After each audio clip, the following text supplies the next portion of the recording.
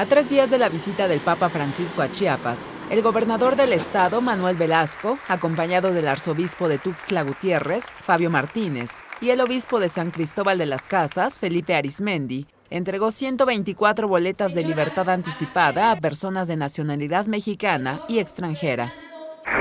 Días pasados apareció allí en la catedral, en la parte exterior, un letrero que decía Queremos justicia, no papa.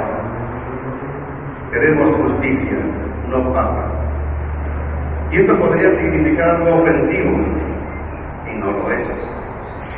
No lo es, porque el Papa viene a eso, precisamente a promover más justicia.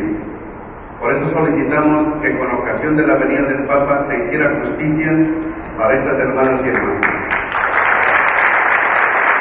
Por su parte, el arzobispo de Tuxtla Gutiérrez, Fabio Martínez, felicitó al grupo de internos que tras recibir su boleta volvieron a ser libres y señaló que ahora el reto es hacer no lo que les pegue la gana, sino hacer lo que se debe.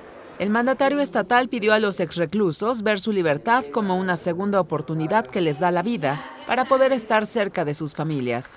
Con información de Beatriz Cuevas e imágenes de Ana Karen Alvarado y Enrique Romero. Enviados. Notimex.